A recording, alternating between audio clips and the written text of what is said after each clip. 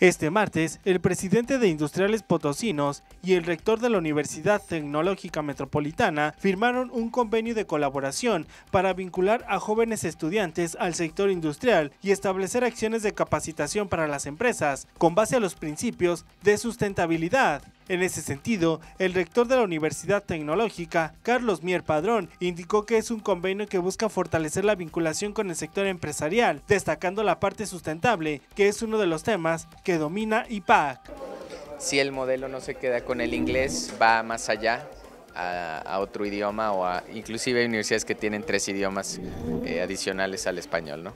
Por otro lado, el presidente de Industriales Potosinos, Guillermo Aldred Rodríguez, comentó que tiene varias vertientes el convenio de colaboración, entre ellas acercar la bolsa de trabajo a los jóvenes universitarios, además de fortalecer el tema ambiental.